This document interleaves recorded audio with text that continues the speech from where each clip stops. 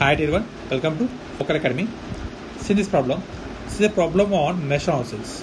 So by using mesh analysis, how can you find current I1 and I2 in the given circuit? So when you observe carefully, in the circuit there are two loops are there. So this is one loop and this is another loop. So first of all, what is mesh analysis? So in the mesh analysis, nothing but loop analysis. So in this, we are going to use KVL theorem. So according to Ohm's law, we know that V equal to IR. This is Ohm's law. So in KVL, sum of all voltage drops equal to source voltage in a loop. So like that, we are going to apply Ohm's law at every load. What is the voltage drop equal to source voltage? Let's see here. In the first loop, there are two resistors are there and one voltage source is there. So in this loop, the current was given like this. I1 source, I1 current is there. The source voltage is 12 volts. This 12 volts is equal to the volt sum of voltage drops in this loop. Here voltage drop is there, here voltage drop is there.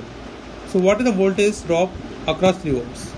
In this resistor, the current is I1 passing. That means to Ohm's law, V equal to IR. So in this, the voltage drop is equal to the current passing through in this resistor product with 3 ohms. That is 3 into I1 plus. Now in this resistor what is the voltage drop? First of find what is the current.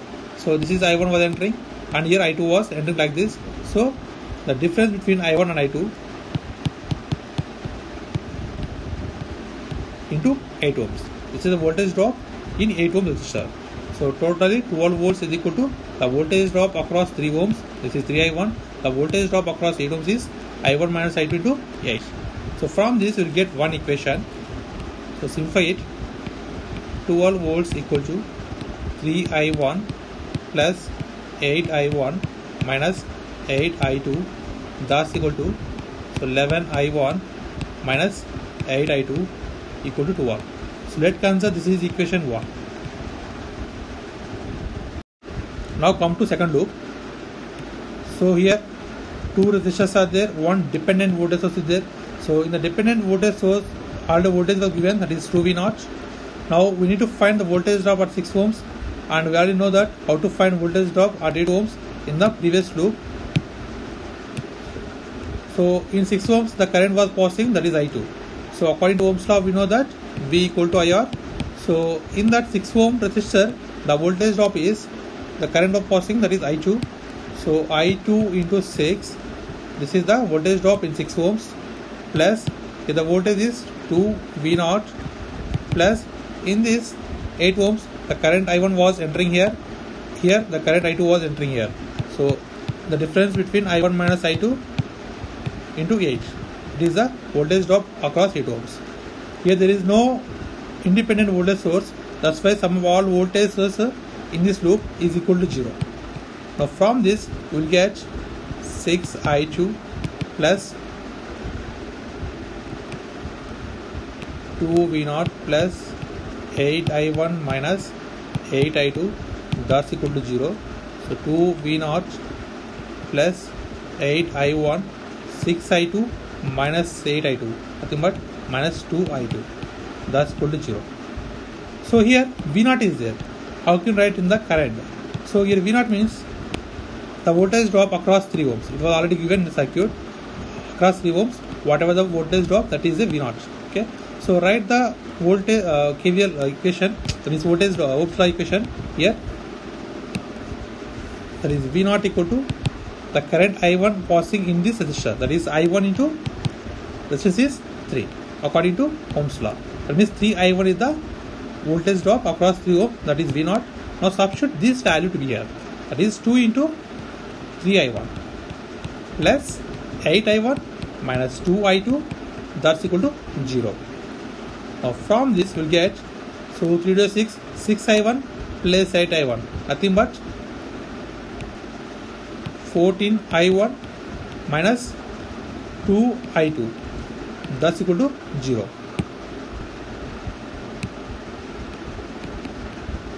so this is the second equation. Now second equation and first equation are in terms of i1 and i2 Now we can easily find I1 and I2. If you observe carefully here in the second equation, so here I1, I2 is there, there is no constant values. So from this we can easily get I1, I2 relation. So that is 14 I1 equal to, so bring this term to the right hand side. It becomes 2 I2. So 2 ones, 2 sevens. That means I2 equal to 7 I1. So this is the I1 I2 relation. Now substitute I2 value as 7 I1 in equation 1. It becomes 2 or equal to so I2 equal to 7 I1.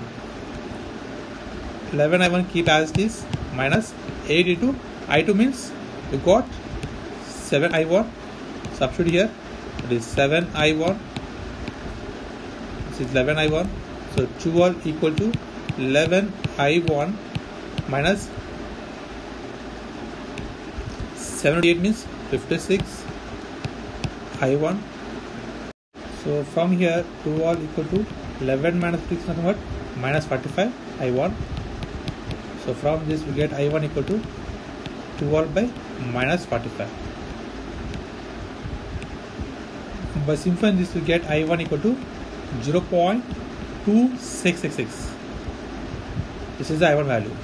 Now how can you find I2 value? So we know that I2 equal to 7 times of I1 means I2 equal to 7 times of I1 that means 7 into so I1 we got this is that is 0.2666 by using calculator we get I2 equal to 1.8666 so this is the I2 value and this is the I1 value. So these are the currents which was in the given circuit and this is the process of simplifying mesh analysis thanks for watching. Please subscribe like share. Thanks